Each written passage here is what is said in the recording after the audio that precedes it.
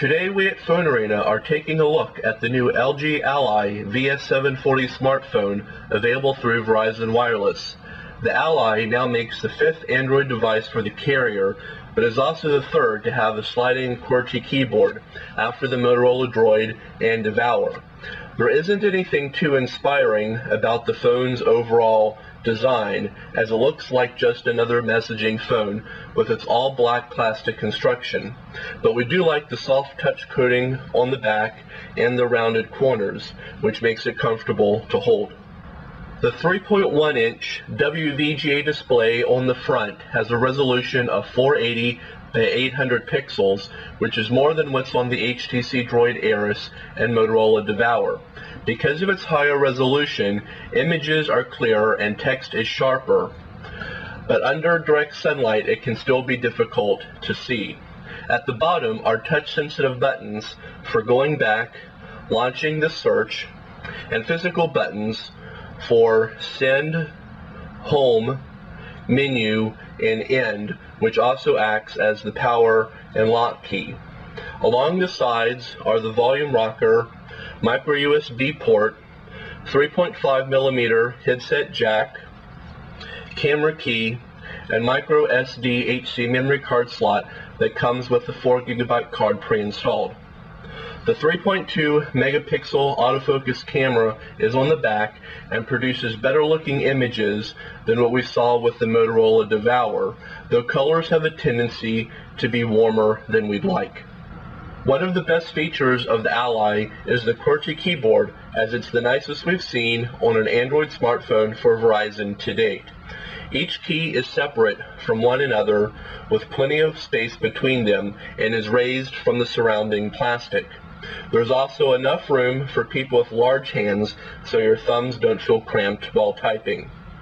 The keys provide a nice click when pressed and have more feedback than the keyboards on the Motorola Droid and Devour, but we do wish that the space key at the bottom were a bit larger. We also like the more traditional square shape of the navigational D-pad on the Ally, opposed to the rectangular D-pad on the Motorola Droid and the optical pad that's on the Devour. The Ally runs on the Android 2.1 operating system and is almost identical to the version that we saw on the Google Nexus One, except for a few extras that LG includes.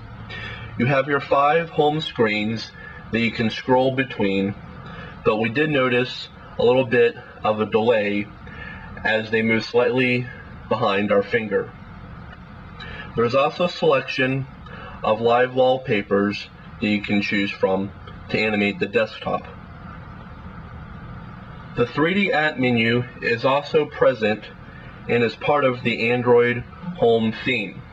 But when you change to the LG home theme, it is replaced by a standard white app menu. You also get a quick launch bar added to the bottom of the screen for accessing the phone, contacts, messaging, and web browser. This is nice to have as it stays on all five of the home screens. LG phones are usually known for their good call quality and the Ally doesn't disappoint. Voices on both ends sound clear and natural, lacking any background noise or distortion, which we consider a step up from the HTC Droid Eris, which had a constant hiss sound in the earpiece speaker. However, the signal reception on the Ally was a bit below the Motorola Droid and HTC Droid Incredible, though we didn't drop any calls. The battery life was pretty good, as we got about 7 hours of talk time on a full charge, or about 28 hours of mixed usage. Overall, the LG Ally is an easy to use, low priced Android smartphone and is best suited for people who just want a basic device without a lot of extra bells and whistles such as Moto Blur and Sense UI.